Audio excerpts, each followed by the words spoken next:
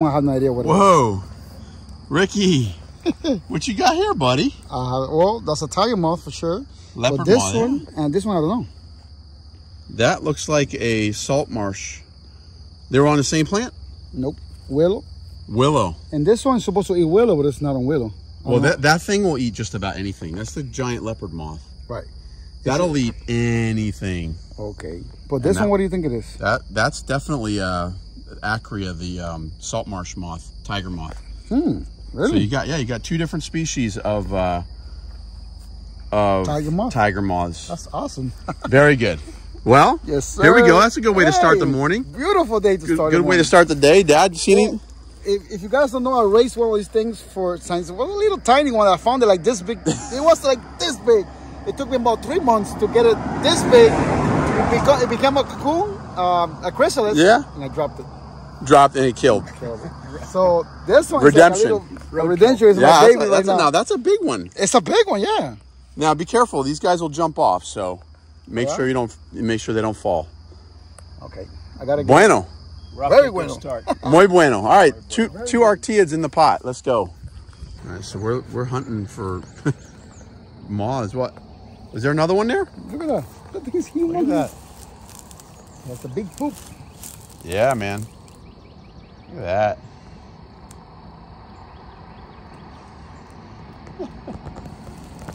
I gotta be brother and sister or something like that. they have Look to at be. that. Those are some big tiger moths, caterpillars there. Good stuff, man. All right. Good stuff, good stuff, good stuff. Man, oh man. So, all right, guys, check these uh, Estigmene acrea caterpillars out. These are salt marsh tiger moths, and they are like super cute, fuzzy little. Whoa! That was embarrassing. Okay, so they're super cute, and I'm just gonna pick them up. Uh, a lot of people are worried about picking up caterpillars. Well, look at them go. Look at them go. Where are you going, buddy? Dude, where you going? Where you going? where, where, where are you going? Stay.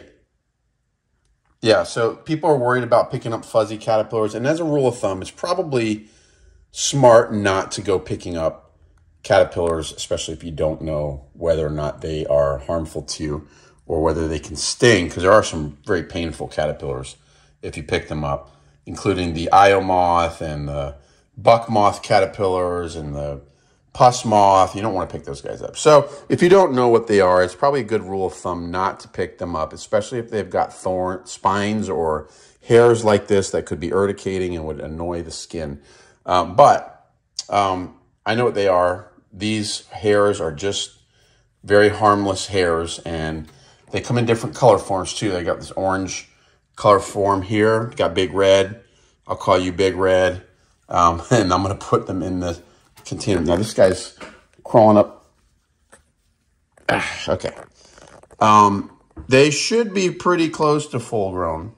Um, we found them on three different types of plants. We found them on sweet clover. We found them on elder weed or elderberry, not elderberry, elder weed, common elder. And we found them on willow. And the one that's easiest for me to get is willow. So I went and I found a plant close to my house.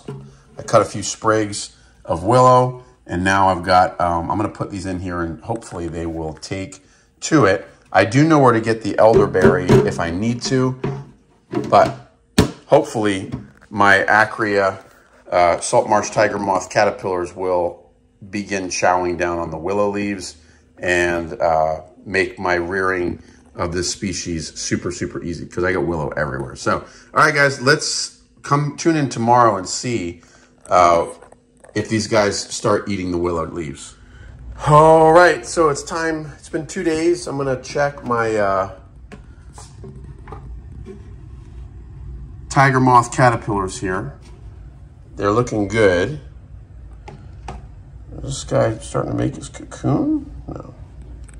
I gotta change out this uh, paper towel and change out the uh, host plant because they're going to town here. Um, actually surprised I didn't eat all of it, but I'm gonna go ahead and change this out. Get a new liner in there. And um, they're looking healthy and good. Now, I wonder how many parasites will come out of these three. We'll see. But I got um, plenty of fresh willow that I cut for them. And so I'm going to go ahead and add this to our to our container.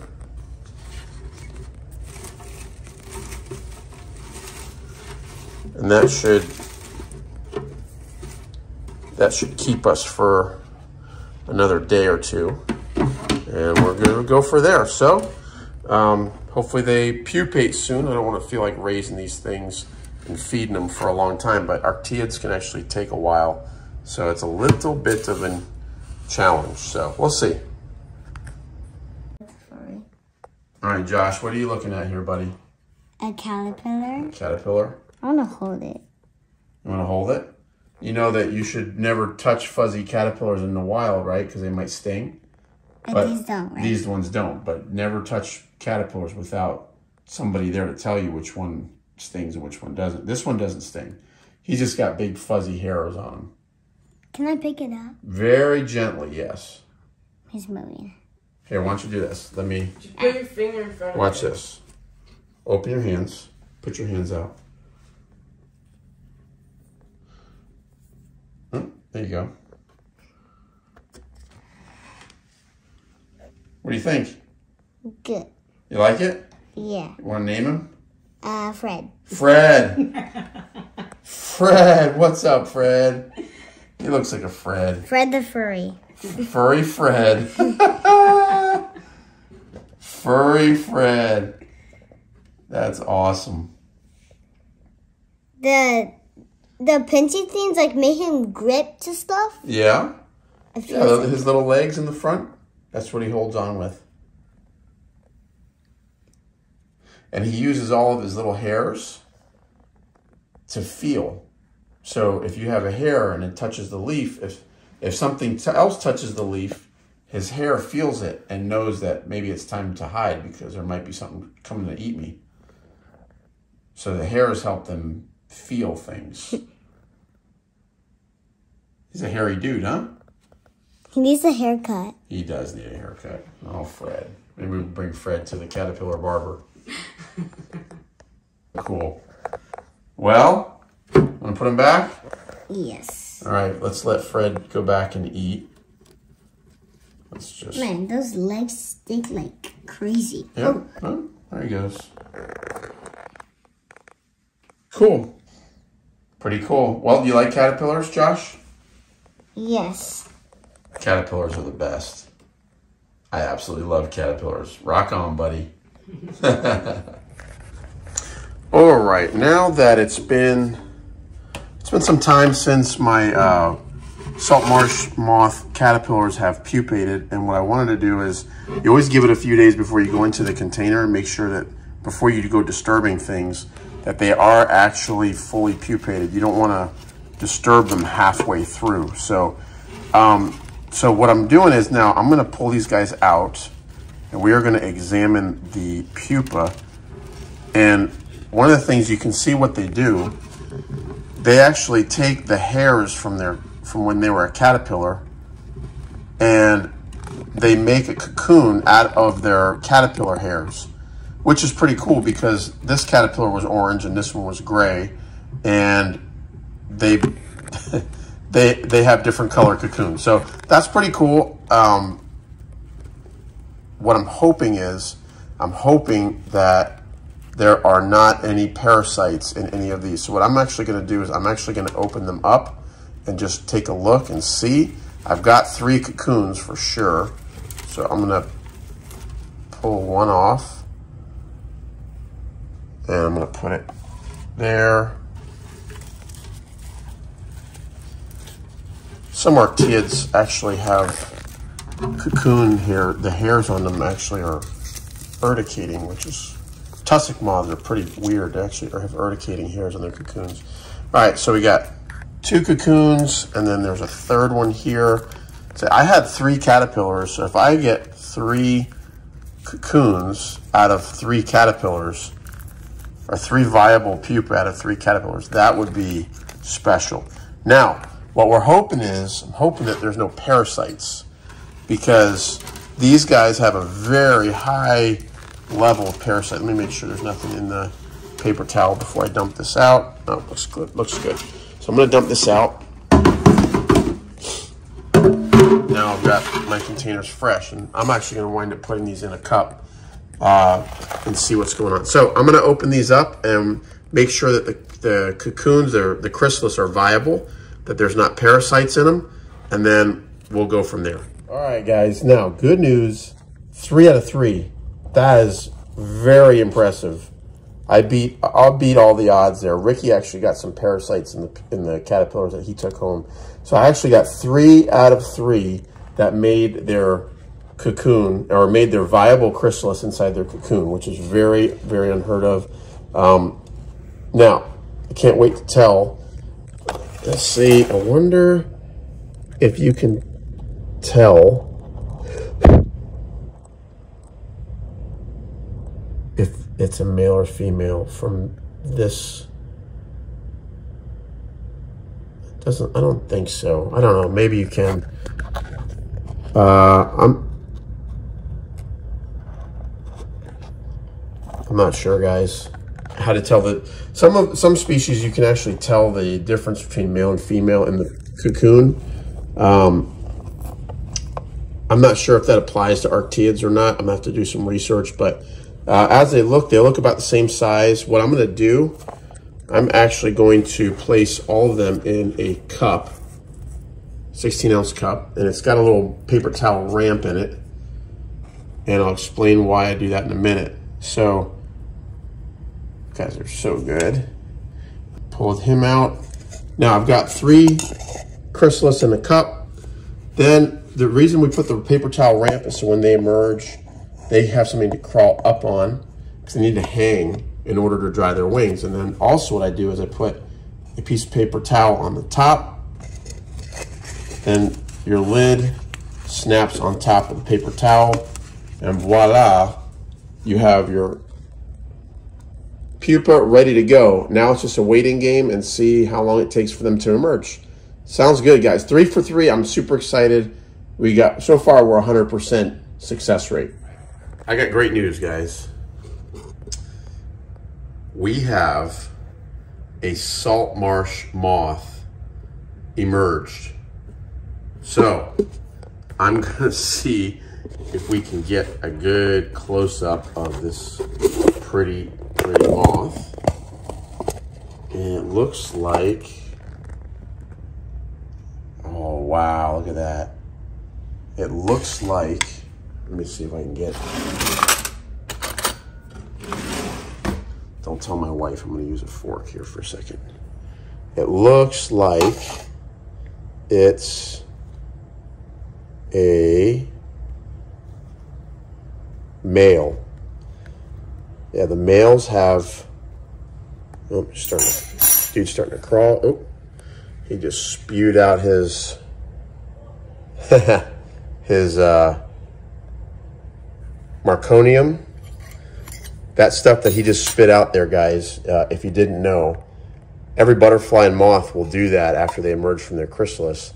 Inside of the abdomen of the butterfly or moth is the metabolized, it's actually kind of like poo, that they store fat as a caterpillar so that when they're in their chrysalis, they have something to eat and then, and live off of. And that's the metabolized stuff. They store it, and as soon as they emerge, they let it pop out. So let's see if we can get you to open up your hind wings. Show everybody the difference between a male and a female salt marsh moth. All right, well, he's being super stubborn. Are you going to show us your hind wings here, buddy? My goodness. Uh, let's see. Let's try again. Open. Got the yellow hind, the yellow abdomen. he does not want to show his hind wing at all. wonder why. It's not what they do. They're very, what's the word? They don't show off their stuff. They're modest. Oh, you gonna sit upside down, dude? You play dead? Okay, let's see. Well, trust me, this is a male, and it's got orange hind wings. But let's see if I can. There we go. It's got like this yellowish orange hind wing here. All right, guys, that's the male hind wing. Females have just a white hind wing. So I'm excited because we have a salt marsh tiger moth perfectly emerged from its chrysalis.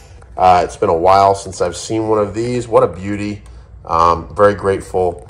And hopefully we have, we actually have two more pupa and hopefully one of these two in this cup here will be a female. That, that looks like a girl, the one on the right. I'll bet that's a girl. So, uh, guys, let's see if one turns out to be a female. We're going to wait and see if they emerge. Cool. All right, so pretty cool thing that we just witnessed. I was photographing uh, this male tiger moth with my Canon camera, and as I was trying to get it to crawl onto this leaf and disturbed it, it it actually went into some sort of defensive posture. Let's see if I can get it to do it again. Let's see. Oh, now he doesn't want to show off. He did it. Uh, oh my. Well, that's not, that didn't work out. Mm -hmm.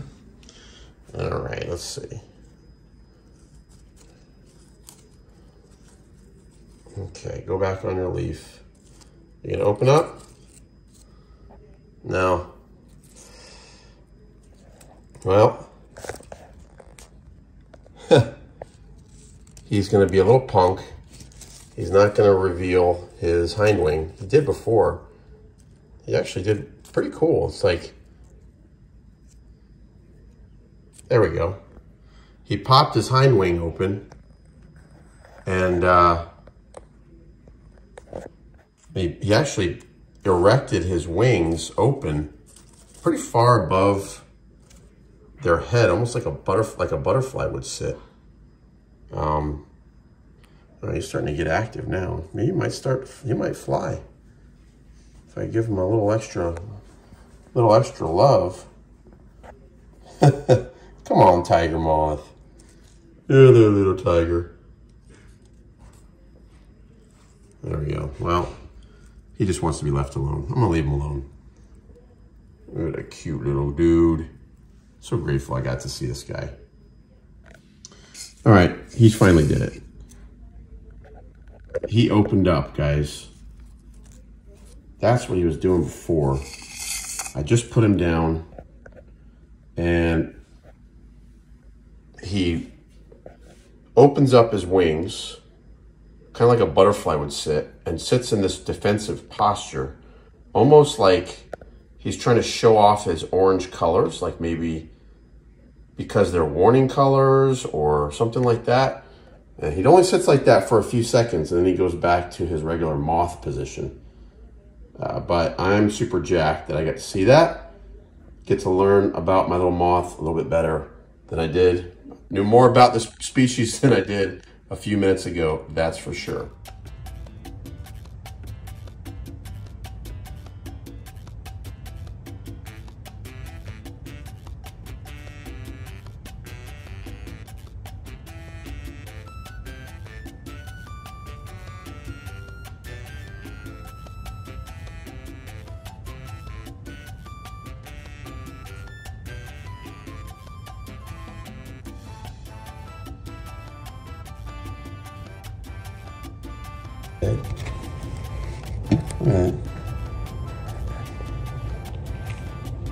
Instead of trying to fly away, they play dead.